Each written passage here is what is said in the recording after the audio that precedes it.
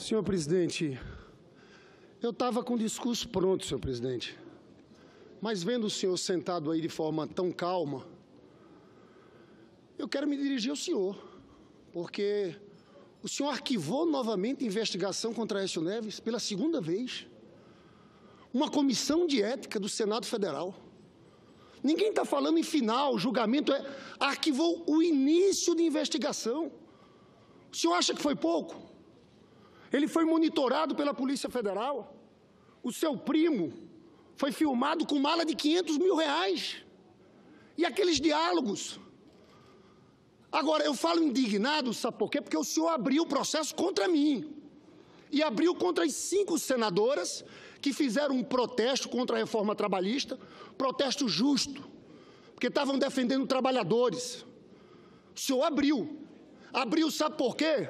Porque eu levantei a voz, de fato me exaltei. Exaltei porque estava indignado. E o que eu falei naquele dia? Que aquela comissão de ética não tinha moral para julgar as cinco senadoras. E eu volto a dizer agora: eu quero que o senhor marque a data de uma reunião da comissão de ética sobre o meu caso. Porque eu vou lá novamente, sabe para quê? Para dizer novamente: essa comissão de ética não tem moral. Desmoralizou esse Senado é isso que a gente está vendo aqui. Eu não sei como o senhor, sinceramente, pode tomar uma decisão como essa. Esse Senado está cada vez mais desmoralizado.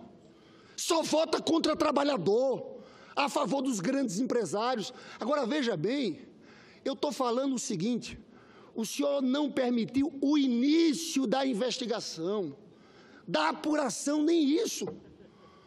É um escândalo é um escândalo. Eu estou indignado. Porque só eu respondo o Conselho de Ética. Só eu. O senhor abriu de, de, na hora, de pronto. Por quê? Porque estavam defendendo trabalhadores. E porque eu defendi aquelas senadoras naquele momento. E eu fiz certo e faria de novo. Não me arrependo do que fiz. Mas quero que o senhor marque a próxima reunião do Conselho de Ética. Que eu quero ir lá dizer na cara de todos: esse Conselho de Ética não tem moral está envergonhando o Senado Federal. Vocês, senador João Alberto, deram um golpe nesse país, está aí o Temer. Agora, um processo de votação. Vocês deviam ter vergonha do que vocês fizeram com o Brasil. Tiraram uma presidente eleita democraticamente, uma mulher honesta, para colocar uma quadrilha. Aí estão fazendo todo tipo de acordo. PSDB com Eliseu Padilha, com Temer, porque está lá o PSDB junto com eles lá agora salvaram Aécio e agora é salvar o Temer no dia de hoje. E eu vejo, sabe o quê? 3 milhões e meio a mais de pobres no Brasil. Os senhores estão destruindo tudo, destruindo a educação brasileira, rasgaram a Constituição e o senhor está rasgando o regimento. Porque o senhor não podia ter passado para um funcionário dar um parecer para arquivar novamente esse caso do Aécio. Desculpe esse desabafo, mas é um desabafo de, de quem está indignado, de quem não aceita isso, de quem está com vergonha desse Senado Federal, por vários motivos. Por vários motivos. Por esse caso do Aécio, sim, mas por mais coisa. Porque esse Senado Federal aqui virou uma casa, uma casa contra trabalhador. Só defende interesse de grande empresário, de banqueiros, e massacra os pobres, os pequenos. Eu estou aqui forçando para ler o nosso projeto de decreto legislativo desde a semana passada.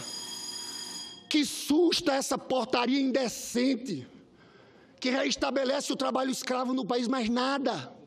Não vejo sensibilidade aqui de senadores. Não querem saber de trabalho escravo. É uma vergonha. É um desabafo de quem sobe a tribuna com um discurso pronto, mas deixo de lado esse discurso para fazer, trazer aqui o meu mais veemente protesto contra essa nova decisão que o senhor tomou, arquivando esse caso do Aécio Neves. Nem o início das investigações. E trago também um protesto, porque o senhor agiu de forma diferente. Quando foram as cinco senadoras, e no meu caso, no meu caso, eu estou sendo chamado a dar explicações. Quero que o senhor marque, porque vou dizer na cara de todos os senadores que essa comissão de ética está desmoralizada.